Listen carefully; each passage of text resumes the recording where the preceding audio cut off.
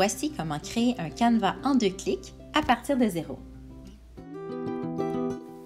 Pour débuter, rendez-vous sur l'application Google Slides. Créez une nouvelle présentation à partir d'un document vide ou à partir d'un modèle de la galerie de modèles.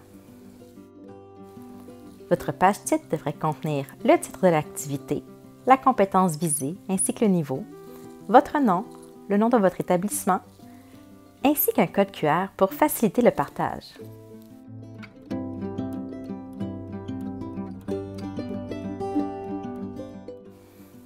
Indiquez ensuite les différentes sections qui se trouveront dans votre document.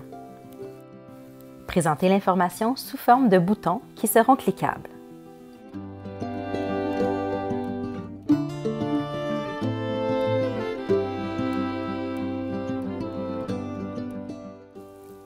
Ensuite une diapositive pour chacune des sections.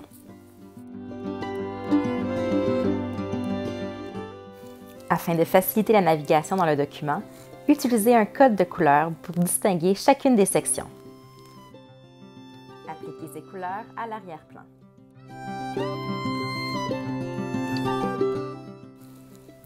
Sur chacun des boutons de la page d'accueil, insérez un lien qui mènera directement vers la page titre de la section.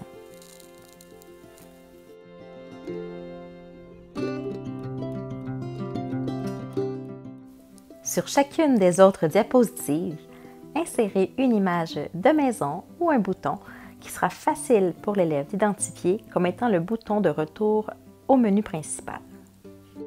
N'oubliez pas d'y insérer le lien vers la première diapositive. Vous pourrez ensuite copier et coller cette image sur chacune des diapositives. Ajoutez autant de diapositives que vous en avez besoin. N'oubliez pas d'ajouter les boutons pour revenir en arrière, soit au menu de chaque section ou au menu principal. Lorsque vous créez un bouton à partir d'une forme, double-cliquez sur celle-ci pour ajouter du texte. Ainsi, lorsque vous ajouterez le lien, vous n'aurez pas besoin de le faire en deux étapes.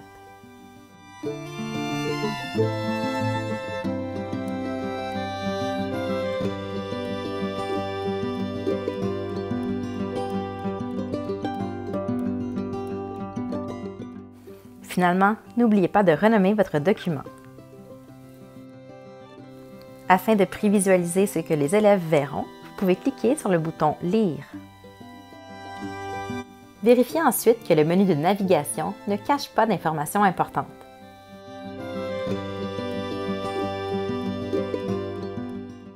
Explorez ensuite les différentes sections de votre document pour vous assurer que tous les liens sont valides.